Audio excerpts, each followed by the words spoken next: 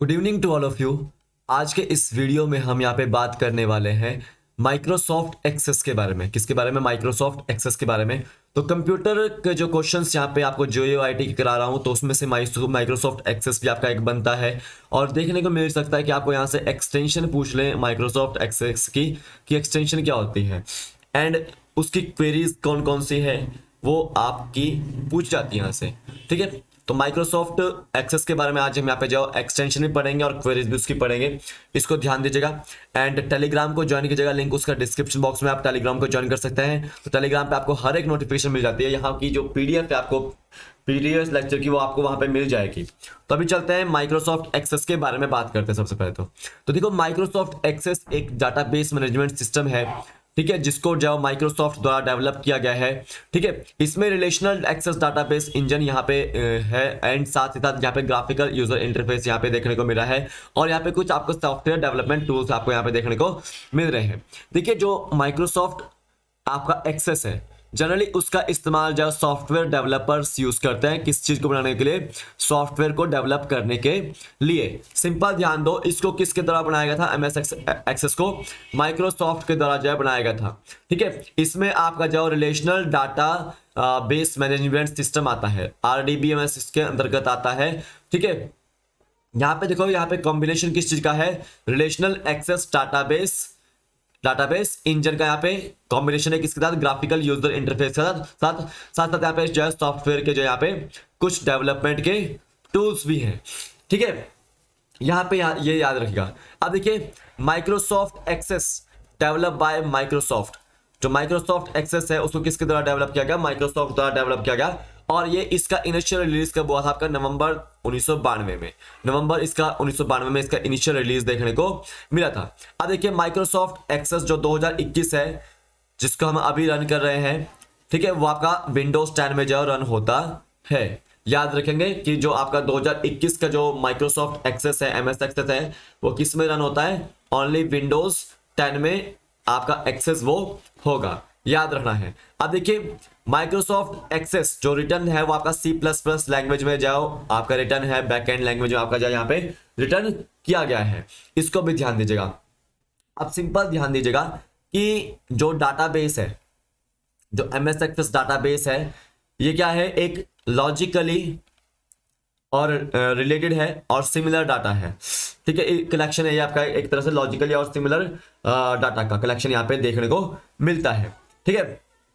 और उस database store को हम जाओ एक स्पेसिफिक पर्पस के लिए जो ऑर्गेनाइज करते हैं, वहाँ से इंफॉर्मेशन को हम गैदर करते हैं एंड उसको जाओ यूज़ करते हैं डाटाबेस स्टोर में से। याद रखिएगा। तो देखिए माइक्रोसॉफ्ट एक्सेस क्या है? एक तरह से एप्लीकेशन है इज़ एन एप्लीकेशन और ये क्रिएट करता है एक तरह से डाटाबेस तो एम एस यहाँ पर लिख सकता हूँ मैं M S Access creates creates database creates data base इसको ध्यान दीजिएगा। ठीक है? और एक तरह से ये रिलेशनल डाटाबेस मैनेजमेंट सिस्टम भी है। याद रखना है। M S Access is a relational database management system ये आपको ध्यान देना है। अब यहाँ पे ध्यान दीजिएगा Microsoft Access store data in its on format based on the access database engine formulary formerly Jet database engine याद रखो माइक्रोसॉफ्ट क्या करता है? माइक्रोसॉफ्ट एक्सेस क्या करता है?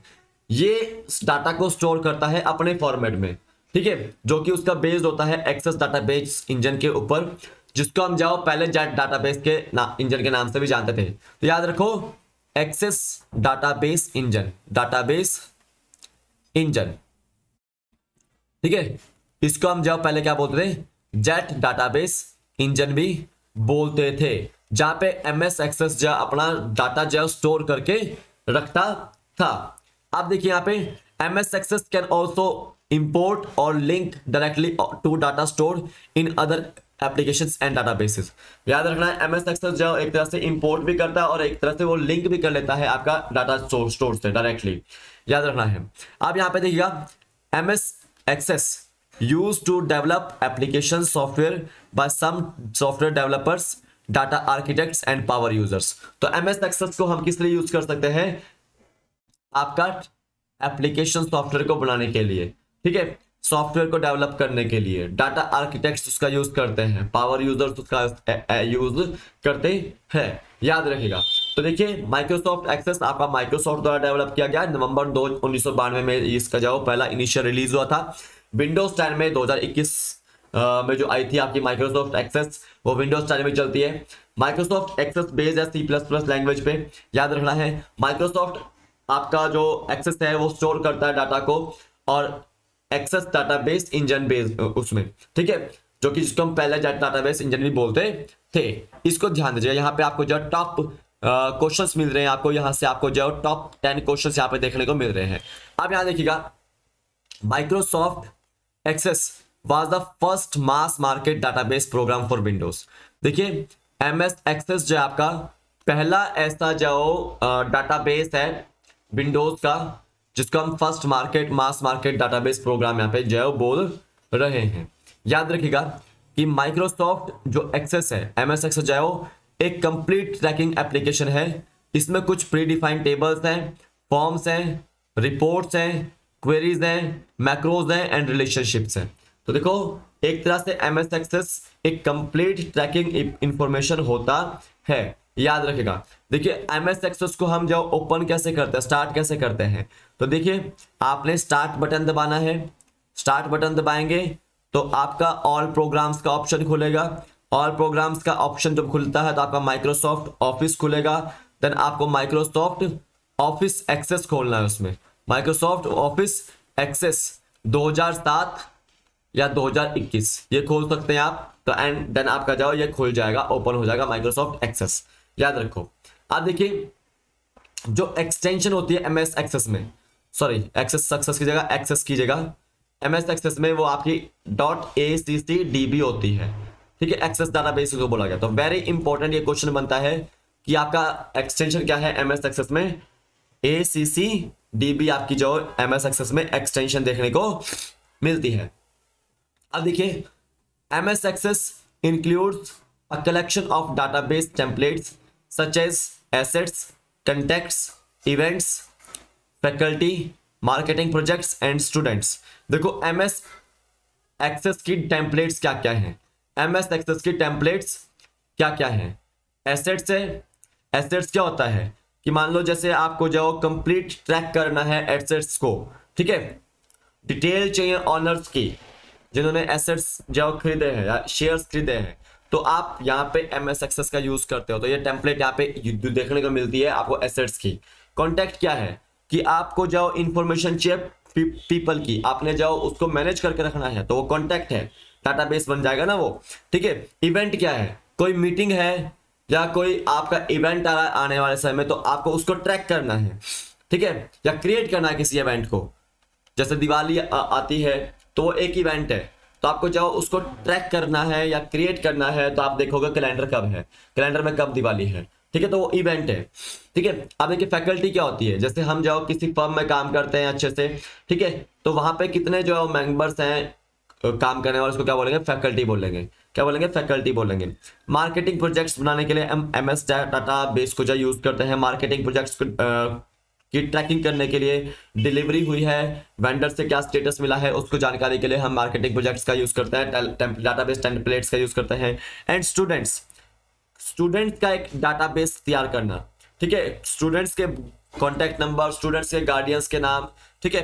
तो यहाँ पे आपका जो सारा का सारा जो एम एस एक्सेस डाटाबेस में ये टेम्पलेट्स आपको देखने को मिलते हैं। तो templates in M S Access database is assets contacts events faculty marketing projects and students अब देखिए table queries report and forms ये कंपोनेंट्स हैं माइक्रोसॉफ्ट एक्सेस के। याद रखो एम एस एक्सेस के कितने कंपोनेंट्स हैं? फोर कंपोनेंट्स हैं। कितने हैं? फोर कंपोनेंट्स याद रखेगा कौन सा है? टेबल है। दूसरा कौन सा है? क्वेरीज है। तीसरा कौन सा है? रिपोर्ट्स है। चौथा कौन सा है? फॉर्म्स है। याद रखिएगा। देखिए टेबल्स में हम क्या करते हैं?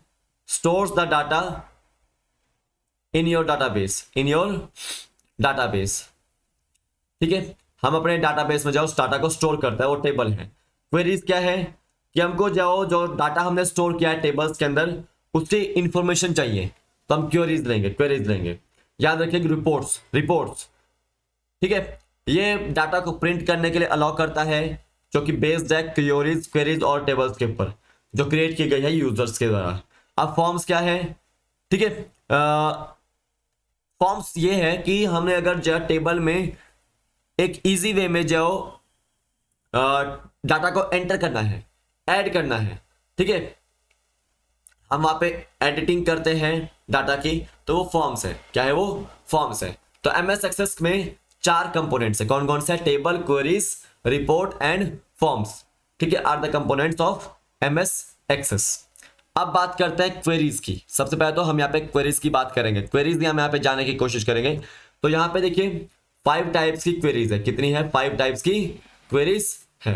पहली कौन सी है? सिलेक्ट दूसरी पैरामीटर क्वेरी तीसरी क्रॉस टाइप क्वेरी चौथी एक्शन क्वेरी एंड पांचवी एसक्यूएल क्वेरी क्वेरी देखिए, अगर हम सिलेक्ट क्वेरी की बात करते हैं तो फ़र्स्ट क्वेरी है आपकी। एम एस एक्सेस की ठीक है? Most common type of query most common type of query इसको बोलते हैं हम सिलेक्ट क्वेरी को।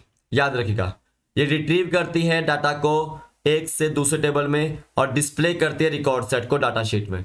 सिलेक्ट क्वेरी अब देखिए पैरामीटर क्वेरी क्या होती है, ठीक है? एक तरह से यहाँ पे जाओ, एक स्पेसिफाई रीजन जो किया गया है।